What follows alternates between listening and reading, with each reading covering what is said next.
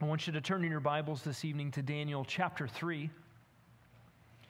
We're going to see Nebuchadnezzar's response to a divinely given dream and a divinely given interpretation of the dream. What will Nebuchadnezzar do after hearing from the God of the universe? What will be his action plan? How will he apply it to his own life? Now, those are important questions, and, and we need to think sometimes about having the right takeaway from certain lessons. Have you ever learned the wrong lesson from something? I was uh, examining the rear tire of my son's bike. It was one of those little bikes when I had a little son. I don't have a little son anymore. But it was one of those little tiny bikes, and we had gotten it secondhand at a garage sale. And, and examining the bike, I realized the back tire was old, and my takeaway was it needs more air. That was not the right lesson. And we kept adding air and adding air and adding air until a massive explosion could have put somebody's eye out. It was terrifying.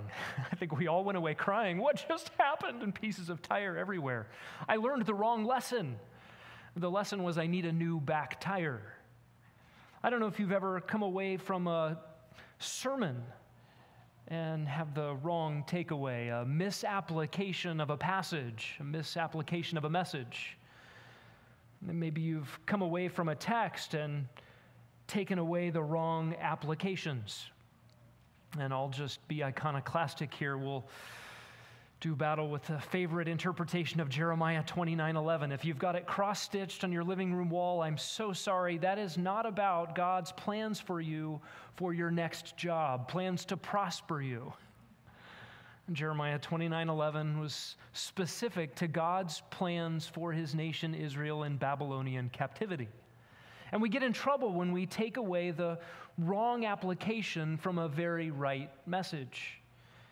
Nebuchadnezzar has gotten a remarkable message from the Lord, and yet he will misapply that message. The appropriate response to the Daniel chapter 2 dream and its interpretation from Yahweh, the one true God, is this worship Yahweh. That's the message. What was, that was the, that was the application of the message, personally for Nebuchadnezzar what did Nebuchadnezzar actually do with that message from Daniel 2? Let's read Daniel 3. Here's Nebuchadnezzar's response, his applicational action plan, if you will. Nebuchadnezzar, king, made an image of gold, the height of which was 60 cubits and its width 6 cubits. He set it up in the plain of Dura in the province of Babylon. Then Nebuchadnezzar the king sent word to assemble the satraps, the prefects, the governors, the counselors, the treasurers, the judges, the magistrates, and all the rulers of the provinces to come to the dedication of the image that Nebuchadnezzar the king had set up. Then the satraps, the prefects, the governors, the counselors, the treasurers, the judges, the magistrates, and all the rulers of the provinces were assembled for the dedication of the image that Nebuchadnezzar the king had set up. And they stood before the image that Nebuchadnezzar had set up.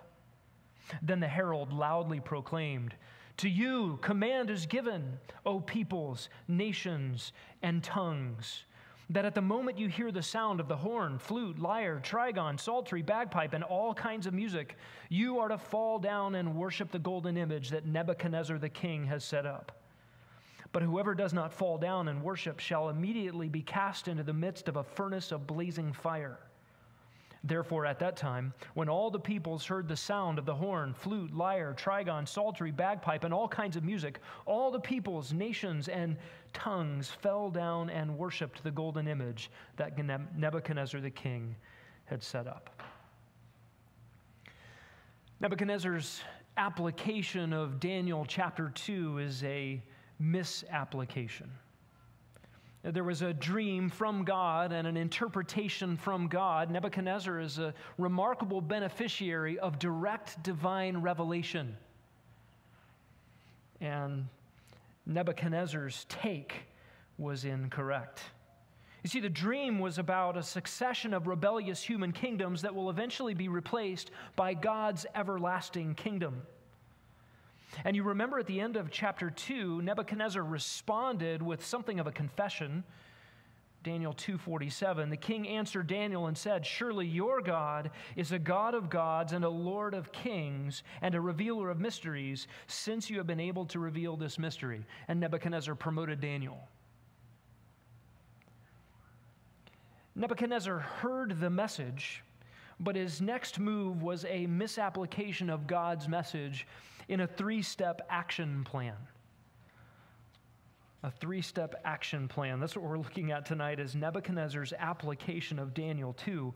And the first part of his action plan was he set up a giant golden statue. Look down at verse 1. Nebuchadnezzar the king made an image of gold, the height of which was 60 cubits and its width 6 cubits. He set it up in the plain of Dura in the province of Babylon. Now, seven times in this short passage, we hear the phrase Nebuchadnezzar made or Nebuchadnezzar set up. And Nebuchadnezzar is doing something here, and it's very interesting that what Nebuchadnezzar is making and what Nebuchadnezzar is setting up will become an object of worship. That is a remarkable and tragic irony. But we are made to feel the weight of Nebuchadnezzar making this and then setting it up, the image which he set up, which he set up, which he set up, which he set up. And he sets up this image, this statue, outside of the city proper, but within the province of Babylon. Babylon, as you know, was a city. The, the nation of Babylon was the surrounding province, and Babylon grew and took over other nations. And so the outlying provinces were the other territories that Nebuchadnezzar had taken over to build his empire. Those other territories required bureaucratic government structures people in those regions to govern and control. Just like in Israel, in Judah, in Jerusalem, vassal kings were set up. They were slave kings set up to take tax money and rule the people in Nebuchadnezzar's place. And that was true not only for the teeny tiny little nation of Israel that Nebuchadnezzar controlled, but also all of the big countries that he controlled. So, this massive empire of, of Babylon was centralized in the province of Babylon, and from there centralized in the city of Babylon. Well, just outside city proper, in the plain of Dura, that, that location is hard to identify, but most likely relates to one of three locations just outside, maybe within 15 miles or so of the city walls of Babylon itself. And Nebuchadnezzar made and then caused to be set up this image. And the seven times repetition of this cause to be set up has the effect of building tension towards something climactic that is coming in the story. And it's striking that Nebuchadnezzar made an image. And Exodus 20 prohibits, of course, the making of images. Uh, this is in the 10 words, the 10 commandments. You shall not make for yourself an idol or any likeness of what is in heaven or on earth beneath or the water under the earth. You shall not worship them or serve them, for I, Yahweh your God, am a jealous God. This, of course, is the prohibition from Israel's God for his own people, Israel. They were not to make images and likenesses and they violated this left and right. They made images that they supposed were of Yahweh himself, Exodus 32 and the golden calf. And then they made images of all the other gods of the nations. And they had poles and statues and altars to all the gods of the nations that they were to avoid. They became idolatrous in all of these things. But this is a fundamental prohibition that goes beyond just not worshiping other gods. It is that the God of the universe, the invisible God who lives in unapproachable light, is not to be reproduced in some sort of tangible, visible representation. And it is such the heart of man to make God seeable, capturable, formable, holdable, that mankind readily falls into the trap of making deity smaller than man, which is exactly what happens when you make something. You're bigger than the thing you make. And even though this statue was giant, it was, metaphysically speaking, smaller than Nebuchadnezzar because Nebuchadnezzar made it and caused it to be set up. Humans gravitate to these things regularly. The statue is said to be made of gold, probably not pure gold through and through, but gold ensconced on the outside of some structure. We read, for instance, that the tabernacle furniture in the Old Testament was gold. You had the golden table of the presence, you had the Ark of the Covenant, which was gold. They were made of acacia wood and then covered in gold. It's quite likely that this statue was made that way. There have been Babylonian statues that uh, ancient historians wrote about that were made of wood and covered in gold. And so it's very likely that is how Nebuchadnezzar had this one made. And it was said to be 60 by 6 cubits. That is 60 cubits high and 6 cubits wide or in diameter. That is 90 by 9 if a cubit is 18 inches. So 90 feet high and, and 9 feet wide. It, it's a little bit fatter than a date palm, but much skinnier than a person in proportion. That's a 10 to 1 ratio. A normal human ratio is something like 5 to 1 or 6 to 1. We're not going to try to identify who's who, but 10 to 1 is a massively skinny and strangely grotesque statue. It's an exaggeration of form, and it is to stand above the Babylonian plain in dazzling form. This could have likely been seen from some 15 miles away and brilliant in the desert sunlight. Is this Nebuchadnezzar? Is this Nebuchadnezzar's favorite god, Marduk, or the god of his namesake, Nebo or Nabu? Or, or some other god? Or does this stand for the Babylonian Empire and all of its greatness, of which Nebuchadnezzar is the representative? And you have to understand that the Babylonian pantheon was not a jealous pantheon. It's not as if Marduk was upset that people, were, people worshiped Nebo, or Nebo was upset that people worshiped Nebuchadnezzar, or that Nebuchadnezzar was upset that people worshiped a statue. See, polytheism works that way. It doesn't really matter what the statue was there to represent. The text doesn't tell us, but it's all one and the same. If anything is to be worshiped and it's not the one true God, it is all the same religion. Most likely, this is something of all three the greatness of Nebuchadnezzar representing his empire backed by the Babylonian pantheon. But notice this statue is unlike the statue that Nebuchadnezzar dreamed about. This doesn't just have a head of gold, but the entire statue is gold. And just think about what this means for Nebuchadnezzar's application of a divine message. Nebuchadnezzar hears directly from the Lord of the universe that there is a series of successive kingdoms in a timeline of empires moving from top to bottom, and that Nebuchadnezzar is the head and he is gold. No doubt Nebuchadnezzar was flattered by this and threatened. What happens to the statue? It's obliterated. And it's not just that the ending empires are, are, obliterated, but the entire history of sinful, rebellious human governance is turned to powder and blown away by the summer breeze, including the head of gold. So Nebuchadnezzar heard the message. What's his takeaway? We're not going silver. We're not going bronze. We're not going iron. And we're certainly not going iron mixed with clay at the bottom. That's a bad move. We're going gold top to bottom. Nebuchadnezzar's takeaway is to make a monolithic structure after his own image, to build a legacy, a Babylonian Nebuchadnezzarite legacy that cannot be tottered, that cannot be blown to bits, that cannot be tossed by the summer breeze. Nebuchadnezzar saw the dream perhaps as an omen rather than a declaration of the sovereign God of history. And, and thinking about an omen, an omen was a, a warning portending some danger that if you played your cards right, or if you appeased the gods just right, or you changed the course of history, you could alter that omen. It would not come true. If I know the future, then, then I can bring about changes to the future. This is Nebuchadnezzar's application. He's dreaming, in fact, of undoing the declaration of the sovereign God of history. He's trying to, to undo biblical prophecy. Nebuchadnezzar doesn't know who he's dealing with yet. And notice back in his confession in verse 47 of chapter 2 Surely, Daniel, your God, the, the, the, the, God of Israel, that puny little nation that we conquered, where we really were sure that our gods were stronger than your gods, because look, you're here and you're my slave. But your God is something. Um, he's a God of gods and a Lord of kings and a revealer of mysteries. He does not say your God is the God.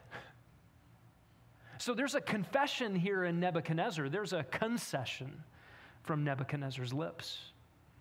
But it is not full, unadulterated faith in the one true God. What is Nebuchadnezzar dreaming about here? He's dreaming about his own self exaltation. He's built a monument to human greatness, a devotion to pagan gods, and a rallying point for satanic rebellion against the one true God. All in his own name. Nebuchadnezzar's section, second action point of applying Daniel 2 is he gathered his empire in front of the statue. He makes the statue, sets it up in the plain of Dura, and then he gets the entire empire to surround it. Look at verse 2. Then Nebuchadnezzar the king sent word to assemble the satraps, the prefects, the governors, the counselors, the treasurers, the judges, the magistrates, and all the rulers of the provinces to come to the dedication of the image that Nebuchadnezzar the king set up. And there's several layers here of governmental officials. Satraps and prefects are first. Those are big time regional characters. Those are people that have control over large areas. Separated by and, you get another group governors, counselors, treasurers, judges, magistrates. Uh, these are lower bureaucratic levels of administration in Nebuchadnezzar's government. And then, in order not to leave anybody off, the last category, and all rulers, literally all officials of the provinces. So every regional ruler, every layer of bureaucratic government in all the conquered lands, all the conquered territories, as well as Babylon Central, they have all come here to the dedication of the image. Nebuchadnezzar has said, I built this thing, I set it up, and I want you all here pronto.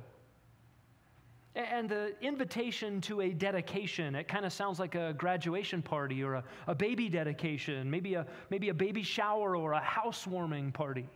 Come see my kingdom, come see this statue. But there's something far more sinister here, both politically and religiously. Nebuchadnezzar is attempting to unify his empire. He has taken over broad swaths of territory with people of differing worldviews, differing languages, different religions. And all these conquered regions need to be sewn and stitched together. He feels acutely what happens at the bottom of the statue from Daniel chapter 2. Remember, the clay with iron did not adhere to each other. He wants adhesion. How is he going to get adhesion? He understands, like many tyrants throughout history have understood, that the unification of religious sentiment is an adhesion to draw people together. It is a powerful influence. If you can make everybody conform to the same religious sentiment, the same religious experiences, the same religious authority, you can have control whether it's the elimination of religion altogether in some sort of atheist state, or the conformity to one particular brand. And, and notice this brand that he is getting his empire to buy into is a tolerant brand. We'll talk more about that. It is a universal religion he's after, but it's a universal religion that includes people who happen to worship other gods. It will only disallow one type. This design to unify the empire is a, will become a test of loyalty of all of his subjugated peoples. This was going to be an issue of national pride, of patriotic loyalty, combined with religious fervor. To violate the command that is coming would be akin to treason, punishable by death. And look at verse 3. Then the satraps, the prefects, the governors, the counselors, the treasurers, the judges, the magistrates, and all the rulers of the provinces were assembled for the dedication of the image that Nebuchadnezzar the king had set up. Now, every word I just read, we've already read in the previous verses. And you were hoping I wouldn't read it, that I would just reference it and move on. But I read it because it's there. And Daniel wrote it, and God wanted Daniel to write it, and it captures the scene. Listen, it has the effect of you looking around this massive humanity, standing before this giant golden image, and noticing there's a satrap. Ooh, and that's a prefect.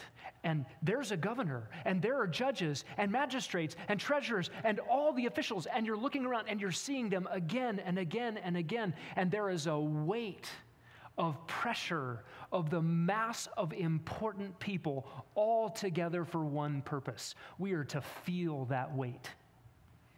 So we get this repetition. And notice the end of verse 3 and they stood before the image. Here they all are. All the officials from every level, from every region were to come. Everybody on the federal payroll. Um, we do, I think, understand some exceptions. Uh, no doubt there would have had to be some people left behind in some places to manage things for a time. Uh, one example would be Daniel himself in chapter 2, verse 49. Uh, we find that Daniel was at the king's court. That's an important last sentence in Daniel chapter 2. We might wonder is Daniel bowing down when the three friends aren't? Where's Daniel? Chapter 2, the end of chapter 2, reminds us or tells us, places Daniel at the scene of the king's court, not out at the plains of Dura. And so that's probably an example, a, a tip for us to understand that uh, there would be some left behind. But this almost monotonous list of all the administrative levels of bureaucratic office is designed to help us feel the weight of the pressure to conform.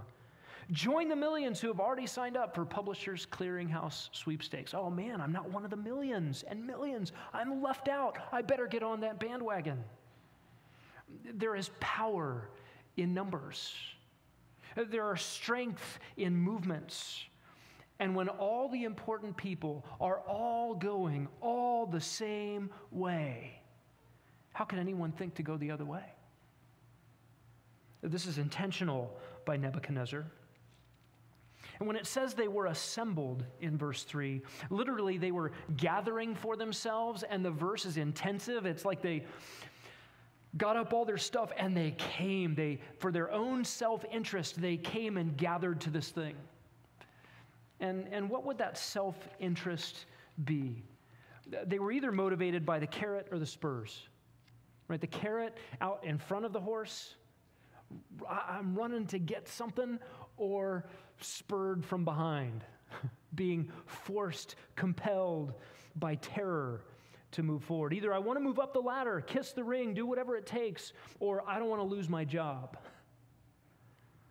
or my life. This is a powerful unifying procedure from Nebuchadnezzar. And he's invoking religion to get what he wants done. Whenever the state has an interest in religion, uh, you better be sure that the state has an interest in control. Uh, there's a very dangerous tendency among uh, tyrants of many ages to do this very thing.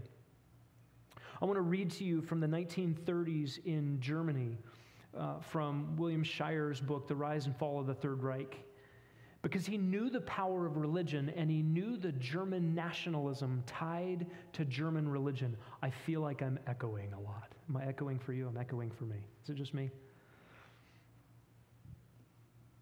In the 1930s, we find out that hundreds of confessional church pastors were arrested in 1936 alone, hundreds of them were taken away, murdered, or taken to con- concentration camps. The funds were confiscated, their properties were taken away. And then the Nazi Party made this statement The party stands on the basis of positive Christianity. And positive Christianity is National Socialism or Nazism. National Socialism is the doing of God's will. God's will reveals itself in German blood. Dr. Zoellner and Count Galen, the Catholic Bishop of Munster, have tried to make clear that Christianity consists in faith in Christ as the Son of God. That makes me laugh. No, Christianity is not dependent on the Apostles' Creed. True Christianity is represented by the party, and the German people are now called by the party, and especially by the Fuhrer, to a real Christianity. The Fuhrer is the herald of a new revelation. Nazi Germany, had, Nazi Germany had a vested interest in calling itself Christianity, albeit of a new flavor. In 1937, 807 pastors and leading laymen of the confessional church were arrested, hundreds more in the next couple years. But for the majority of Protestant pastors, they, like almost everyone else in Germany, submitted in the face of Nazi terror. By the end of 1937, the highly respected Bishop Marahrens of Hanover was induced by Dr. Kerrl of the Nazi Party to make this public declaration. The National Socialist conception of life is the national and political teaching which determines and characterizes German manhood. As such, it is obligatory upon German Christians also. In 1938, that bishop took a final step of ordering all pastors in his diocese to swear a personal oath of allegiance to the Fuhrer. And in a short time, the vast majority of Protestant clergymen took the oath, thus binding themselves legally and morally to obey the commands of the dictator. Where did this end up? It ended up just a, a year later in the National Reich Church. And the National Reich Church made these claims exclusive right and exclusive power to control all churches in the borders of the Reich. The National Church has no scribes, pastors, chaplains, or priests, but National Reich orators are only to speak in them. The National Church demands immediate cessation of the publishing and dissemination of the Bible in Germany. The National Church declares that to it, and therefore to the German nation, it has been decided that the Fuhrer's Mein Kampf is the greatest of all documents it not only contains the greatest, but it embodies the purest and truest ethics for the present and future life of our nation. The National Church will clear away from its altars all crucifixes, Bibles, and pictures of saints. On the altars, there must be nothing but Mein Kampf to the German nation and to God, the most sacred book, and to the left of the altar, a sword. On the day of its foundation, the Christian cross must be removed from all churches, cathedrals, and chapels, and it must be superseded by the only uncomparable symbol the swastika. It was important to wed religious people to a religious ideal to get them to go along with the tyrant. And to salve their conscience in a really perverted way. I can still call myself a Christian because our leaders just said to be Christian is to be German, and to be German is to be Nazi. Christian equals Nazi. I got it. I can be a Christian. Terrifying. Many tyrants have taken on that same tactic. They recognize that there is power in a crowd, that there is a unifying principle of religious fervor. You can feel that at Neyland Stadium in the fall when everybody wears orange and cheers for the Tennessee Volunteers, and 102,000 people are saying the same thing at the same time. It's compelling. You want to be a volunteer, even in a losing season. We feel this at a concert or a high school pep rally or an anarchist mob. When everybody's doing the same thing at the same time, everybody chanting the same words together. And in this scene, to see all the dignitaries, the celebrities, the powerful, the important people gathered in one place, standing, waiting for the sound of the music. Notice the end of verse 3 and they stood before the image, literally, and arising before the image. We're just left hanging. what happens next? Imagine the scene. You've been invited to a dedication, and then when you get there, there's a command, and then there's a cue. There will be music that signals the appropriate behavior. When you hear the music, do the thing. Nebuchadnezzar's third piece of his action plan is compulsory worship. He compelled everyone to worship the statue. There's a call to worship, there is enforced obedience, and then universal compliance. Look at the call to worship beginning in verse 4.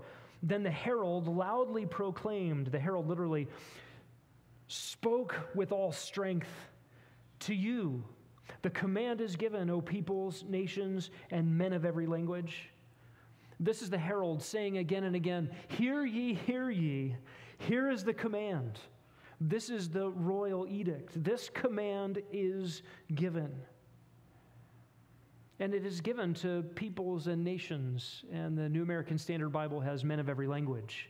It simply in the Aramaic reads peoples, nations, and tongues. And this phrase, peoples, nations, and tongues, happens again and again in the book of Daniel. And if you're fast forwarding your Bible in your mind, you, you, you resonate with that phrase peoples and nations and tongues, or peoples, tongues, and, and tribes and nations. This is a familiar phrase. The, the import here in this text is that there is pressure. Really, everyone is doing it, everyone from everywhere. Uh, sure, people have their own lands and they have their own gods, but here in Babylon, everyone is bowing to this image. But when we think forward to the book of Revelation, chapter 5 and 7 and 10, 11, 13, 14, and 17, and we hear the same phrase again, what are we discovering there? That the Lord Jesus Christ, whose kingdom we looked at last week is assembling for himself a people from every tongue and tribe and nation and people. And in the book of Revelation, the great imitator is attempting to assemble for himself peoples and tribes and nations. And that great imitator, Satan, has been at it from time immemorial. Just like in the book of Revelation, the Antichrist will show up as a lamb, but with horns and evil intent. He's assembling nations and tribes and peoples to his own sordid interests. Here, Nebuchadnezzar is trying to gather a universal worship around an idol. And we know that the Lord Jesus Christ will one day do that for himself with real worship from real worshipers. Notice the command in verse 5. At the moment you hear the sound, there's an immediacy to this. We'll see this phrase repeated again. All at once. As the moment you hear the sound, and if you were there and, and everybody was standing silent in anticipation, they had obeyed the summons, and they were all there, all the important people, and the command was given when the music starts bow and worship fall down worshiping. And you're just waiting. And that first note, immediately, all at once, you are to fall down. Again, this is a unifying procedure. There's something striking when you watch a finely tuned marching band all doing the same thing at the same time, when every toe is up at the same angle across a football field. It's sharp, it's crisp, it's compelling. It makes you want to get down there and do it. Uh, there's something sharp and, and crisp and compelling about everybody at the same time on this signal fall down. And, and, and who would refuse this? Who would want to stick out? Who would want to be a, a sore thumb sticking out in the crowd, disunifying this beautiful procedure? And what's not being done here is an internal check. Uh, Nebuchadnezzar is not sending around guards to check the internal status of your heart. Did you mean it when you fell down? Uh, they're not checking motives. They're, they're not checking thought processes. Uh, at this point, they're not thought police saying, wait a second, are you crossing your fingers and really worshiping some other God from your homeland? The command is simple fall down and worship. I want you to turn to Isaiah 44 because this is just dumb. What everybody is about to do, all together at the same time uh, with some little jingle, is just dumb. And Isaiah satirizes this famously in Isaiah 44 in speaking about how silly it is that a created being would create an inanimate non being and fall down before it in worship. Look at verse 9. Those who fashion a graven image are all of them futile, and their precious things are of no profit. Even their own witnesses fail to see or know, so that they will be put to shame. Who has fashioned a god or cast an idol to no profit? Behold, all his companions will be put to shame, for the craftsmen themselves are mere men. Let them all assemble themselves. Let them stand up. Let them tremble. Let them together be put to shame. The man shapes iron into a cutting tool, does his work over the coals, fashioning it with hammers and working it with his strong arm.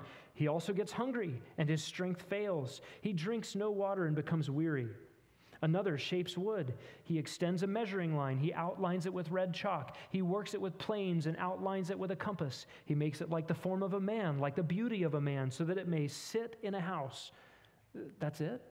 All that work? You, you did all this stuff and it, it sits?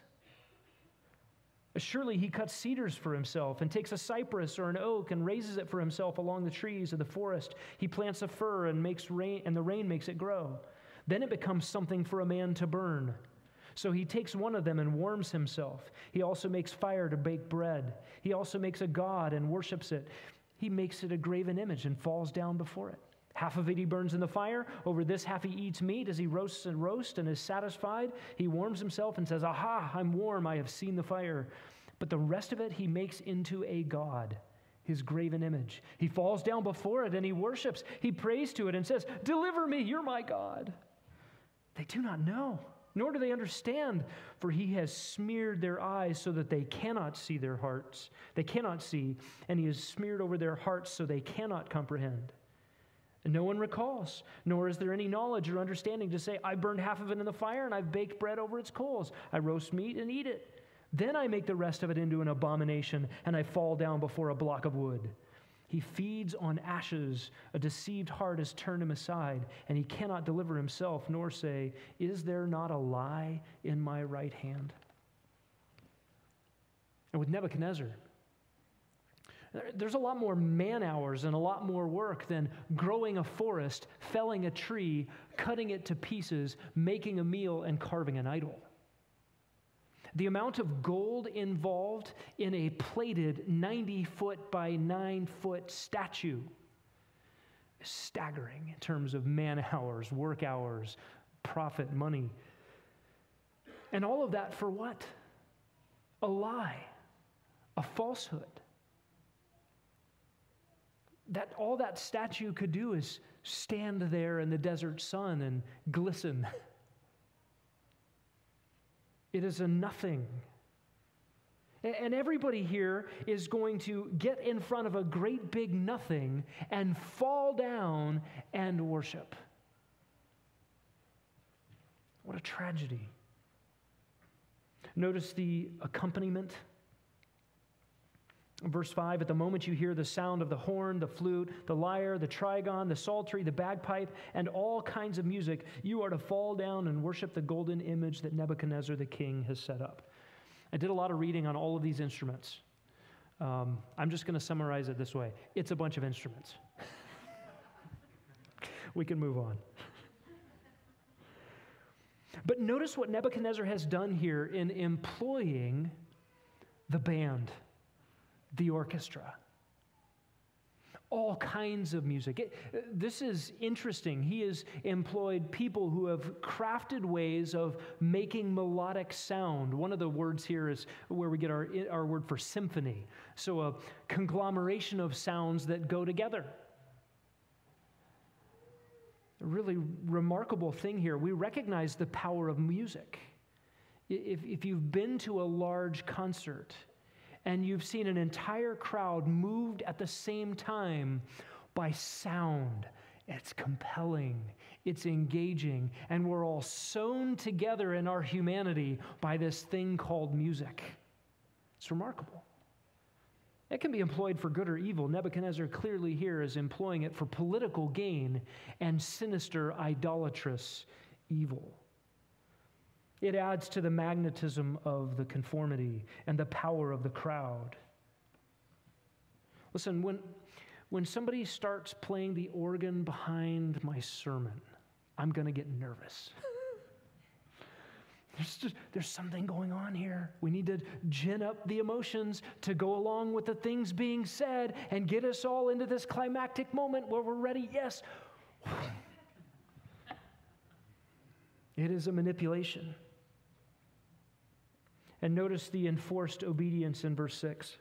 There's the call to worship, and then just in case that doesn't work, Whoever does not fall down and worship shall immediately be cast into the midst of a furnace of blazing fire. What is the risk of not coming to the summons, of not falling down and worshiping? Well, you're going to lose your good government job, you're going to be accused of treason, and you're going to be immediately executed. All the power, all the influence, all the wealth you've enjoyed by being on the government dole, gone and all you got to do to keep your life, keep your job, keep your power, keep your influence, do what everybody else is doing. It's just a simple motion. Music, you, you can even cross your fingers and keep one eye open and talk about your own idol on your shelf back home if you want. But you got to conform. The word immediately here is the same word as we've seen in verse 5, in the moment. And then again in verse 7, we'll see it again uh, at that time. All those are the same phrase, and it just piles on the immediacy of what has to happen. When you hear the sound of the music, do this. And when the music played, they did this. They all fell down and worshiped. And if you don't, then immediately at that moment, where will you be? In the midst of the furnace of the fire burning, literally. Archaeologists have discovered the Babylonian brick kilns and the ovens used for smelting ore. They were kind of a conical feature that maximized the heat from coal that was fired. It would have been black smoke billowing out the top and thousands of degrees inside. You would have heard the searing of the blazing ovens, perhaps stage left, while the king sits stage right with the throngs bowing down before the golden statue. These kilns were designed to get the temperatures way up. This means that the, the, word immediately here means that the furnace was already constructed and likely the fires already lit. This would have been terrorizing.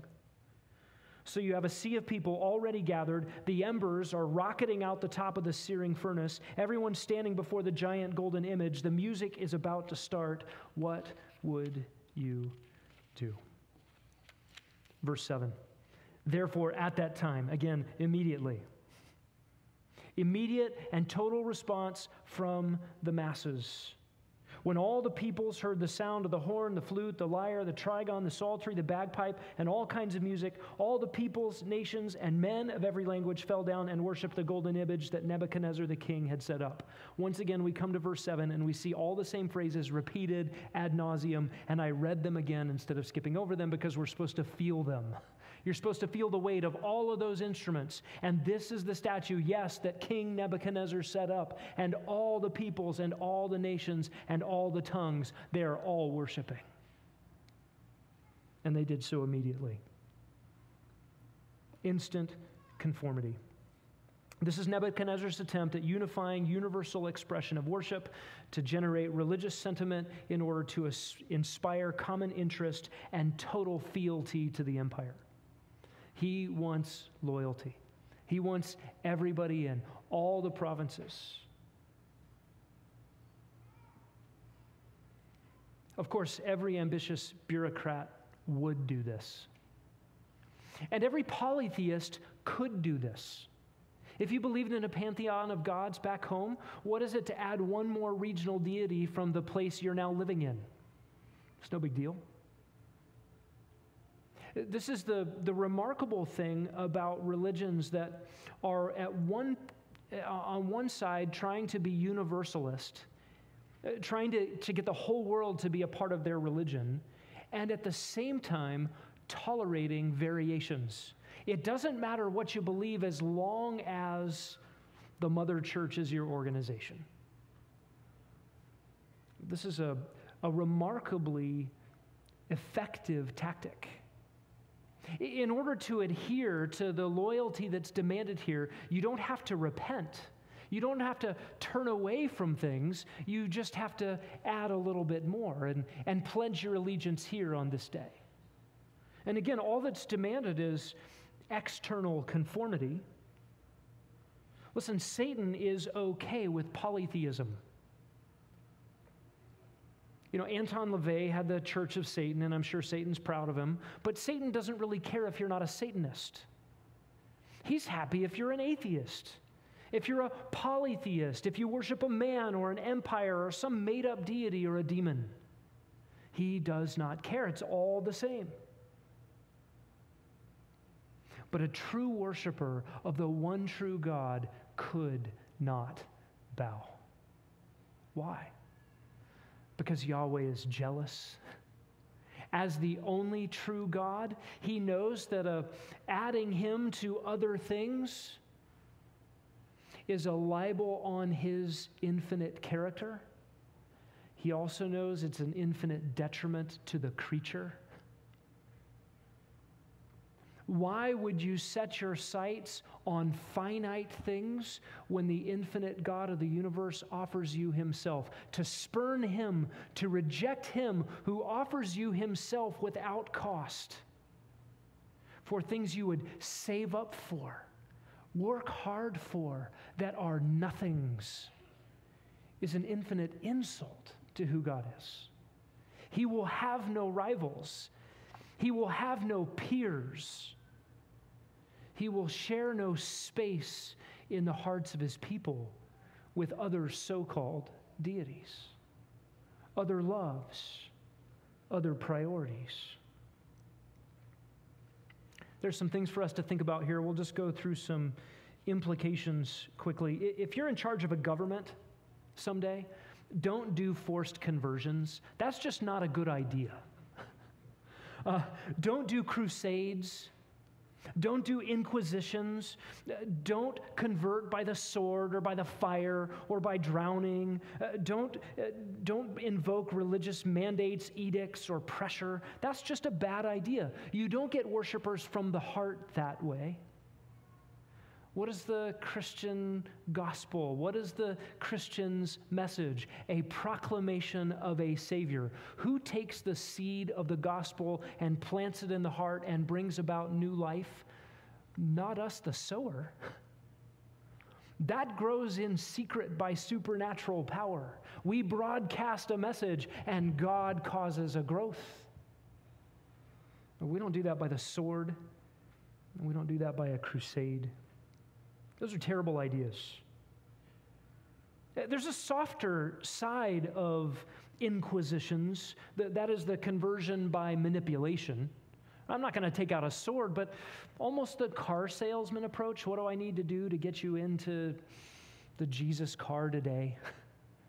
I'm going to sell you on the amenities. I'm going to tell you how great your life is going to be. I'm going to tell you this is your best life now. If you just add a little Jesus to your life, things are going to go a whole lot better. That is not the message. The adding a little bit of Jesus to your life is no better than external conformity to Nebuchadnezzar's statue while holding on to everything else. The Jesus of the Bible demands all that you are and he is a holy God, infinitely offended at your sin. And if you do not come to the Lord Jesus Christ on his terms, how does he maintain his holy reputation and I get my sins forgiven so I can be qualified to be in his presence and not be incinerated? We must come to Christ aware of our sinfulness, not manipulated by some ploy to add a little Jesus to my otherwise happy life. Listen, we've seen on the South 202 freeway the billboards that say, hey, come to church and get free tickets to Disney. That's not conversion by the sword, that's conversion by silliness. External conformity is not true worship. Jesus said the Father is seeking true worshipers, and he will get them. He will get them from the heart by a transformation of the heart. So if you're ever in government, just don't go down that road. There's a message that we're creeping into about safety. about safety. I have a sign in my garage that says safety third. Worship God, have fun, then think safety. I want you to be safe. It's just not the first thing on my list. But if we elevate safety higher than the sign I might have in my garage, we need to think about in terms of asking the question where is my safety? Is my safety in conformity so that I don't stick out, so I don't get thrown into a fiery furnace when the sound goes? Or is my safety in being thrown into a fiery furnace on right terms with the one true God? That's where our safety is. And we'll dive more into that next time we're in Daniel. I think we need to learn something from Nebuchadnezzar. There are blessings and gifts that come to humanity from God, to believer and unbeliever alike. God's common grace means that rain falls on people who don't deserve it, sun shines on people who don't deserve it. God is just kind, it shows up in his fatherly care of his universe. And humans can take blessings and gifts from God and turn them into implements of self exaltation. Nebuchadnezzar had a remarkable privilege an encounter by direct revelation from the God of the universe as a pagan king. And he turned God's direct revelation into something he could tweak into his own self exaltation. What a tragedy. To take God's gifts and make them about ourselves. There's a lesson here about celebrity conversions. If we can go down this road, remember chapter 2, verse 47. Here is Nebuchadnezzar, the king, answering Daniel, the slave, saying, Daniel, your God is a God of gods and Lord of lords. And, you know, we're ready to come have King Nebuchadnezzar speak at our church. We're ready to have him have a book deal, followed by a movie deal, and then the speaking circuit uh, we, we find out really quickly. I mean, in the next verse, Nebuchadnezzar sets up a golden statue as a monument to his own rebellion against the God he just complimented. This leads us to thinking about what was Nebuchadnezzar's encounter with the God of the Bible. We might call this an oblique encounter with truth. You know, when, when you're returning from the moon and you get the trajectory wrong and you skip off the atmosphere and you're just into outer space? You've never done that? Remember when you skipped a rock across a lake and the rock didn't sink because it went. Nebuchadnezzar has skipped off the atmosphere of God's truth and missed it. He had an encounter with God, and, and the theology that he encountered, the, the truth that God could read his mind tell the future, interpret his dreams, and establish by his own sovereignty this Jewish slave in his presence to do this very thing, to level him. Nebuchadnezzar wasn't leveled by it. He encountered truth, but he skipped across it like a rock across a pond. We do this with, with really good theology sometimes. The love of God is a doctrine in Scripture that will never be plumbed. We will never get to the bottom of the depths of what it means that holy God would love sinful human beings. And if we're not careful, we'll miss the point. We'll get the wrong takeaway. What do we see in the cross of Christ? Oh, look how lovable I must be if God would go to those lengths to sacrifice his son just so he could have me in heaven with him. I must be that wonderful. Missed the point. You're that awful and in such dire straits that the only hope for you was that God Himself would come in the flesh in the person of His Son and die a horrible death on a cross in order to pay for your sins.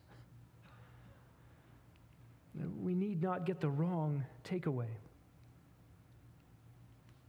What would you do if you were on the plain of Dura, standing before a golden statue, the furnace blazing stage left, the king on his throne stage right, and a sea of conformity all around? Masses of the most important people face down before an inanimate obelisk. Well, there were three young Jewish men with a lot to lose, and we'll find out next time.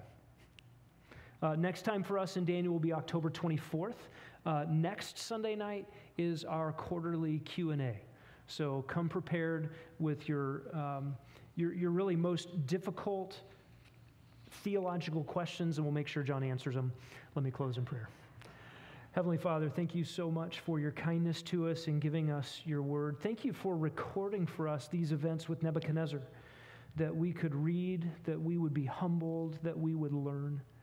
God, give us grace to not come obliquely to your truth, but to allow your word to penetrate, to go layers deep, to separate out motives and thoughts, to do with surgical precision what you have designed your word to do in us. God, would you make us pliable and soft, receptive to your truth? God, for any here this evening who do not know you, we pray that this would be a night of confrontation who am I really as a sinner before you, O God, in all of your holiness? Would you bring such a one to faith in Jesus Christ? We ask it in his name. Amen.